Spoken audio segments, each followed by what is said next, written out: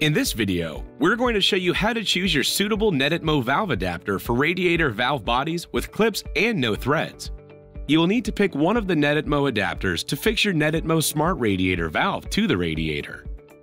The pack contains the adapter selection guide, six adapters, a template, a motor cap. You will need a Phillips number 1 screwdriver, to select your suitable adapter, you can read the adapter selection guide included in the pack or follow the steps in this video. Step 1. Identifying the suitable adapter. Look for a logo, brand name, symbol, or letter engravings on the valve body and head. You can then select your corresponding adapter from the drawings in Section C of the Adapter Selection Guide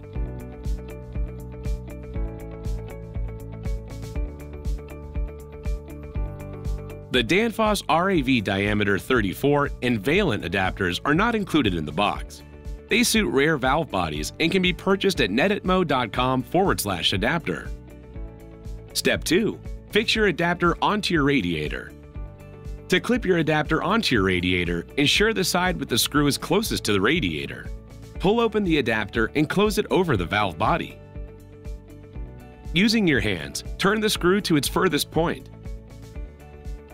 Use a screwdriver to fully secure the adapter.